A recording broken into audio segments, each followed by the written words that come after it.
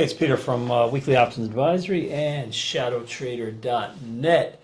So I thought we'd check in with the major averages and also, more importantly, the 11 sectors that make up the S&P on this first day up of a bounce, which feels to me like it's not going to go very far, but I could be wrong about that. We'll have to see and see how it plays out. This is just day one here. You can see we kind of closed relatively close to the mid-range off of short covering. 8 has pinched through the 21, so until we see kind of a change in that, or at the very least until the market can get back up over the 8, then you have to assume a more bearish stance. Um, pretty easy to use these simple moving averages. Well, they're exponential, but it's a simple concept. But using these 8 and 21 exponentials for that reason, I think, is a really good way to go. Same exact situation in the NDX where you had the pinch down through. And again, no reason to change tone, I don't think, unless price can get back up above the 8, right? Just keep it, uh, keep it simple in that manner. Now, looking at these 11 sectors, you can see I've got them here. Let's just click through these for a moment. Tech is the heaviest weighted sector, and you can see it's pretty weak.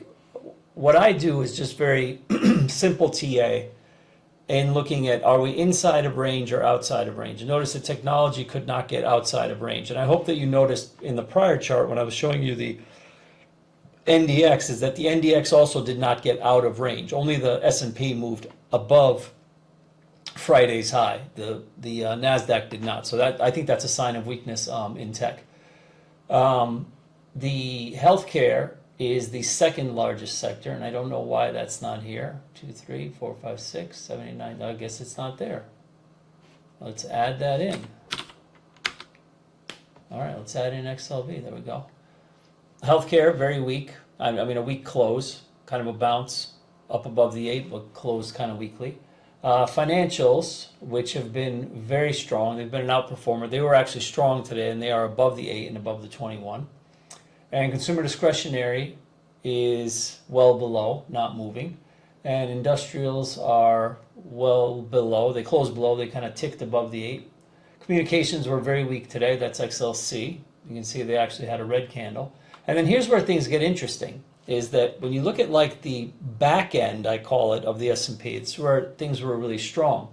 So for instance, consumer staples, very, very strong day, uh, along with energy, very, very strong day, right? Utilities, very, very strong day. This is an interesting chart as well because it's really forming this cup here, I think, which should go higher, right? I've been a bull on utilities for a little while now. I have a pairs trade on that's short technology and long utilities, and I've had that on for, I don't know, three weeks now or so, and it's doing quite well. Um, but I think utilities just by themselves continue higher uh, through 2024. I think it's I think that's the trade or it's a trade, I should say. Uh, materials, I think relatively weak.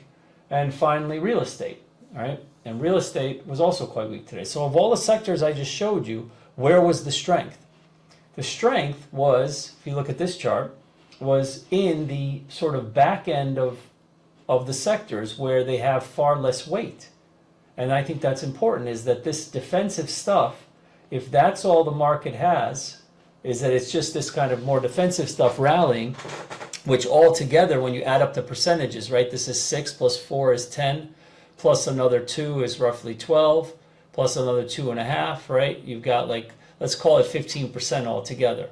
These four sectors make up only 15% of the market. All the weight is really here. You need these sectors to rally, of which only financials are rallying.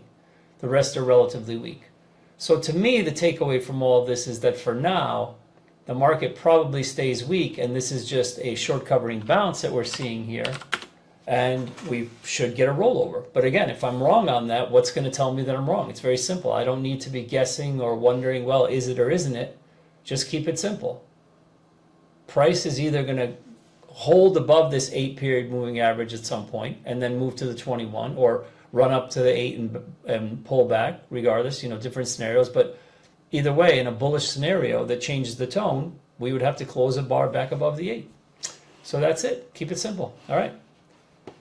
Have a great rest of your evening.